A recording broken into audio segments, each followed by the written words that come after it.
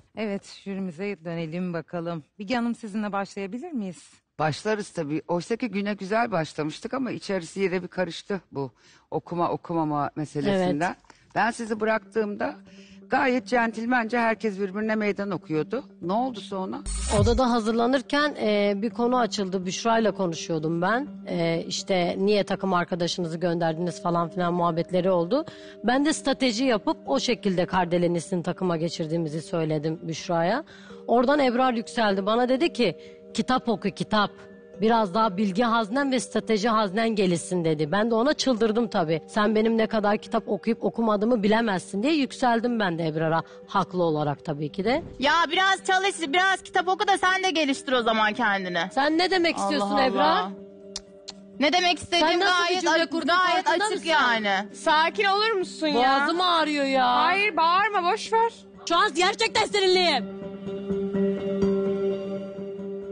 Durum bundan ibaret. Sonra işte Ebrar geldi bana şey söyledi. Ben aslında öyle bir şey söylemek istemedim.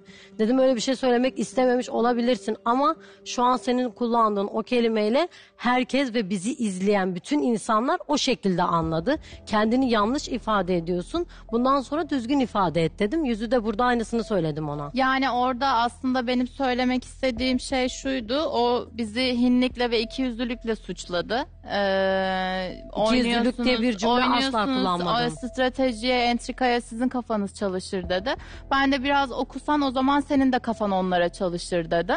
Bu kadar. Kimsenin eğitim seviyesi, kültür seviyesine laf söyleyecek konumda ve pozisyonda değilim. Böyle bir şey kimsenin haddine değil. Kendisine de zaten böyle anlaşıldığım için de özrümü de diledim. Çünkü o öyle anladı.